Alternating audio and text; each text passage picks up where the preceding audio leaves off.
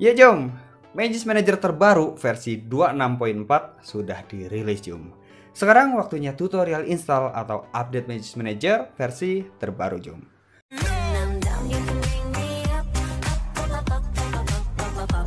Oke Jom, baik lagi sama gua Bang Ojan, channel yang selalu bikin HP subscribernya error, break, bahkan mati total Jom.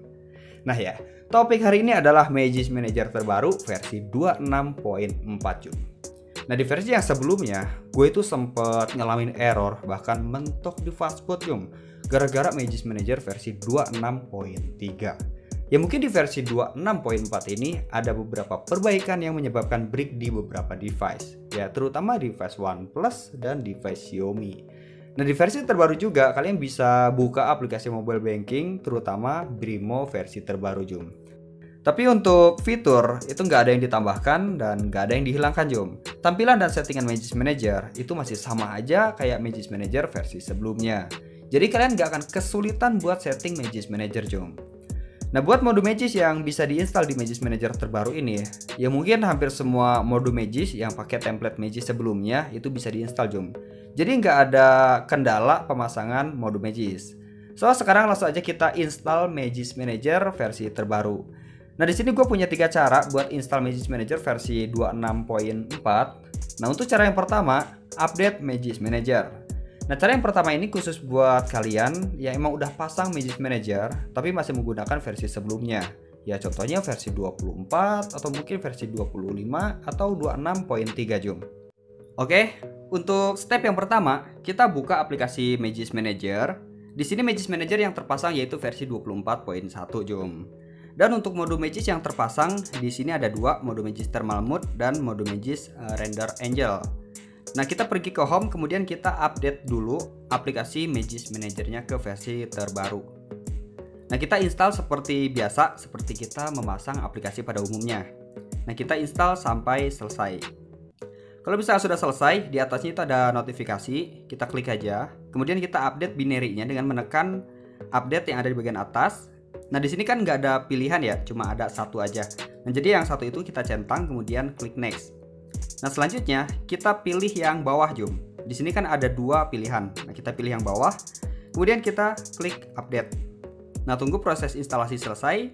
Kalau bisa sudah selesai, sekarang kita banting HP-nya Jum.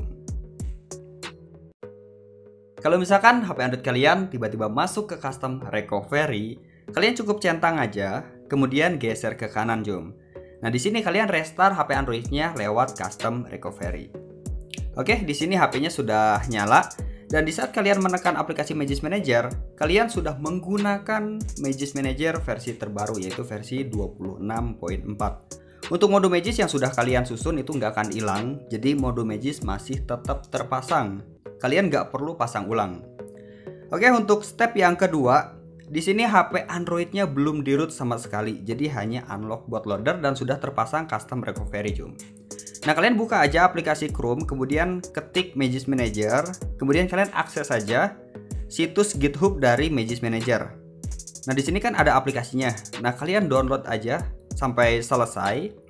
Oke, kalau misalkan download aplikasi Magis Managernya sudah selesai, sekarang kalian restart HP Androidnya ke Custom Recovery Zoom. Kalian tekan aja power, kemudian pilih restart dan tahan volume atas. Nah kalau misalkan HP Android kalian belum terpasang custom recovery, untuk videonya ada di kolom deskripsi Zoom. Jadi untuk memasang custom recovery buat semua brand itu sama aja. Nah di sini sudah masuk ke custom recovery. Nah untuk step yang selanjutnya, di sini kita pilih aja install. Selanjutnya kita cari aplikasi Magis Manager yang sudah kita download tadi. Kalau misalkan custom recovery yang ada di HP Android kalian itu nggak mendukung install file APK, kalian bisa rename menjadi zip. Jadi magis.apk itu diganti menjadi magis.zip. Nah, di sini kalian tunggu proses pemasangan sampai selesai.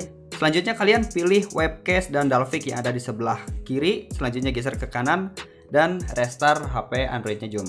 Nah, tunggu sampai menyala. Nanti di saat HP Android kalian menyala dan ada di menu home, nanti ada aplikasi Magis Manager yang sepotong. Nah, kalian klik aja, kemudian pilih OK. Nah, tunggu proses download aplikasi sampai selesai. Nanti aplikasi Magis Manager bakalan berubah menjadi hijau. Nah, di sini kalian klik aja.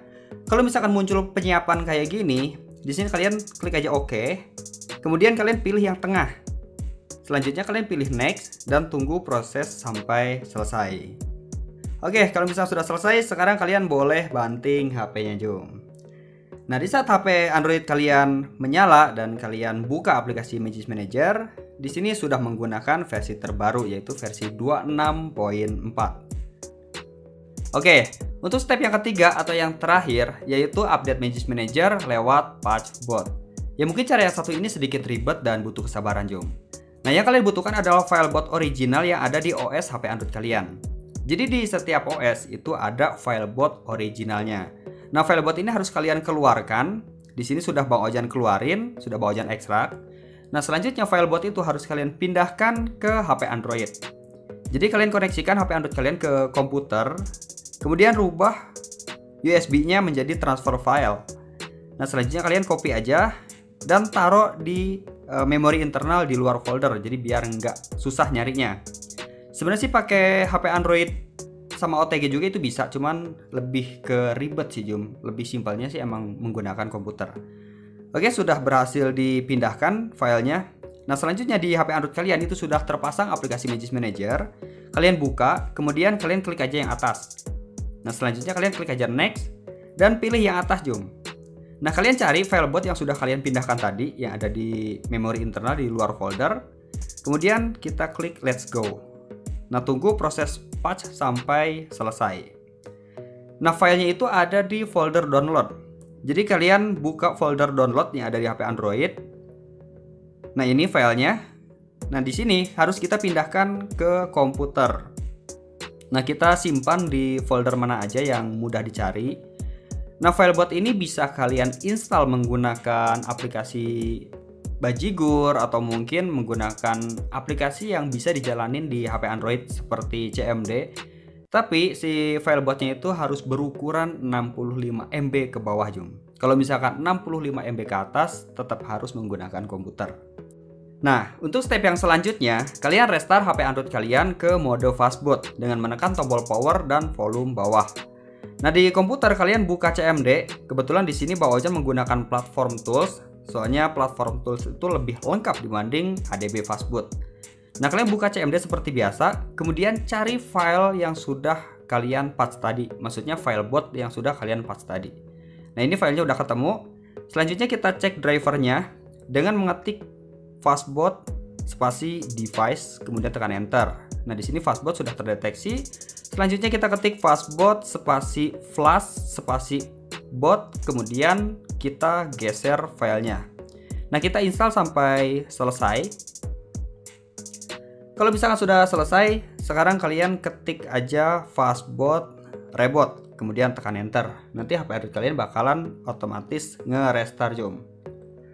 Nah, di saat HP Android kalian menyala dan kalian buka aplikasi Magis Manager, HP Android kalian sudah menjalankan Magis Manager terbaru yaitu versi 26.4 Zoom. Selamat HP Android kalian sudah di root.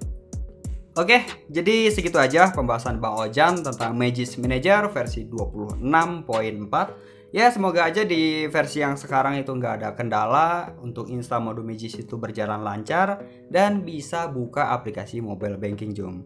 Nah buat kalian yang memasang Magis Manager versi 26.4 itu tiba-tiba error atau mengalami masalah silahkan kalian komentar aja di bawah. Mulai dari tipe device kalian apa terus versi Androidnya berapa dan masalah yang kalian hadapin itu apa Jom ya siapa tahu bisa jadi masukan buat user-user yang lain. Oke bawa Janius pamit. Soalnya Chan Ibak. Sampai ketemu di video selanjutnya Jom thank you